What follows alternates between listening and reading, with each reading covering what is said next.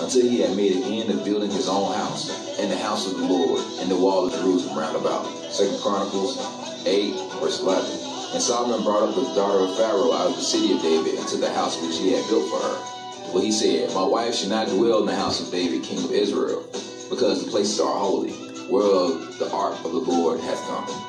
Second Chronicles chapter 9, verse 12. And King Solomon gave to the queen of Sheba all her desire, whatsoever she asked besides that which she brought over to the king. So she turned and went to her own land, she and her servant.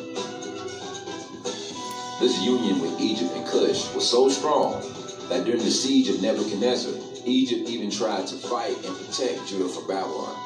Jeremiah 37, verses 1 and 5 through 7.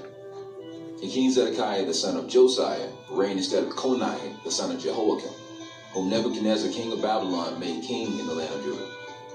Then Pharaoh's army came forth out of Egypt, and when the Chaldeans besieged Jerusalem, heard tidings of them, they departed from Jerusalem. Then came the word of the Lord unto the prophet Jeremiah, saying, Thus says the Lord, the God of Israel, Thus should you say to the king of Judah, that sent you unto me, Inquire of me, Behold, Pharaoh's army which is come forth to help you shall return to Egypt in their own land. Now, if Israel had allies who would fight for them, and also there were already Hebrews in Ethiopia and Egypt, plus the Roman garrisons were to the north of them, why would they flee north? Isaiah 11 11. It shall come to pass in that day that the Lord shall set his hand again the second time to recover a remnant of his people which shall be left from Assyria, from Egypt, from Pathros, and from Cush, and from Elam, and from Shinar, and from Hamath, and from the islands of the sea. So we know that the Hebrews were brought to Assyria and to Shinar in the Babylonian and Assyrian captivities. The other locations? Syria, Pathros, and Egypt, which is northern and southern Egypt, and Cush. Remember, there were Hebrews in Cush before 70 AD, for one. Also notice how the Most High named Cush along with Egypt. So if the Hebrews were already in Cush, which is East Africa, why would it be a stretch that they would migrate west? But one say, God didn't say that they migrated west. So they didn't live in West Africa. Well, let's take a look and see if the Most High said anything about them being west of Cush. In 3, verse 10.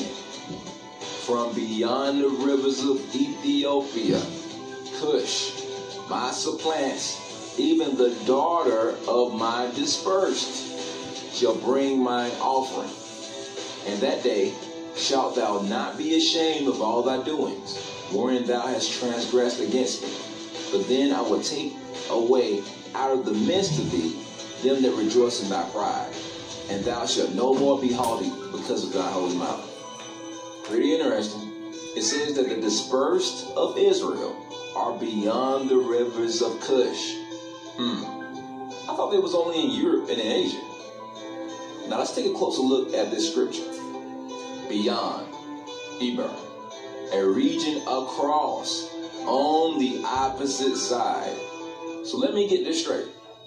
The Most High said that the dispersed of Israel are in the opposite side of the rivers of Cush. Wow. So what's the opposite side of East Africa? Hey, that would be West Africa. Get out of here. Who would have thought? Hey, I wonder if anybody else knew about these Hebrews being in West Africa. In the year 65 BC, the Roman armies under General Pompey captured Jerusalem. In 70 AD, General Vespasian and his son, Titus, put an end to the Jewish state with great slaughter. During the period of the military governors of Palestine, many outrages and atrocities were committed against the residue of the people. During the period from Pompey to Julius, it has been estimated that over 1 million Jews fled into Africa, fleeing the Roman persecution and slavery. The slave markets were full of black Jewish slaves. From Babylon to Timbuktu by Rudolph R. Windsor. The 16th century historian and traveler, Leon Africanus was a Hebrew-speaking Jewish convert to Islam, raised in a Jewish household by Jewish parents of Moroccan descent. Leon Africanus traveled extensively in Africa south of the Sahara, where he encountered innumerable black African Jewish communities. Let me say it again. Where he encountered innumerable black African Jewish communities. Leon later converted to Catholicism, but remained interested in Jewish communities where he encountered throughout his travels in West Africa. This is a quote from his book, The Description of Africa. Albeit, they say that upon the Nilus, or the Nile, you will have two great and populous nations. One of Jews toward the west, under a government of a mighty king. Leo Africanus, The Description of Africa, Volume 1, page 32. Ibn Khaldun, who lived in the 13th century, a respected authority on Berber history, testified the black Jews of Western Sudan, with whom he personally interacted. Also, the famous Muslim geographer El-Idrisi, born in Ceuta, Spain, in the 12th century, wrote extensively about Jewish Negroes in the Western Sudan. Black Jews were fully integrated and achieved preeminence in many West African kingdoms. For instance, the Jews were believed to have settled in great West African empires such as Songhai, Mali, Ghana, and Kanem-Borno empires. According to numerous accounts of contemporary visitors to the region, several rulers and administrators of the Songhai Empire were of Jewish origins, until Askia Muhammad came to power in 1492 and decreed that all Jews either convert to Islam or leave the region. Some accounts place some West African Jewish community in the Ondo Forest of Nigeria, south of Timbuktu. This community maintained a Torah scroll as late as the 1930s, written in Aramaic, that had been burnt into a parchment with a hot iron instead of ink, so it could not be changed. See, going with Rafika, the quest of the lost ten tribes of Israel to the ends of the earth.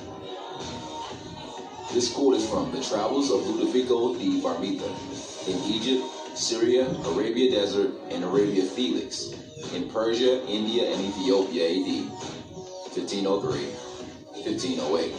At the end of eight days, we found a mountain which appeared to be 10 or 12 miles in circumference, in which mountain there dwell four or five thousand Jews, who go naked and are in height five or six spans and have a feminine voice, and are more black than any other color. They live entirely on the flesh of sheep and eat nothing else. They are circumcised and confess that they are Jew. These quotes are from The Earth and Its Inhabitants, The Universal Geography by Elise Papulis. The Mandingans were now broken up into many rival petty states or excellent husbandmen, but displayed their remarkable talents chiefly as traders. They have been compared to the Soroklis, the Jews of West Africa. This quote is from Hebrews, Hebrew exiles from Israel. Amazing facts from Revelations. The first British explorers who met the Hebrews of Nigeria were quick to identify them as a branch of Hebrews, based 1930.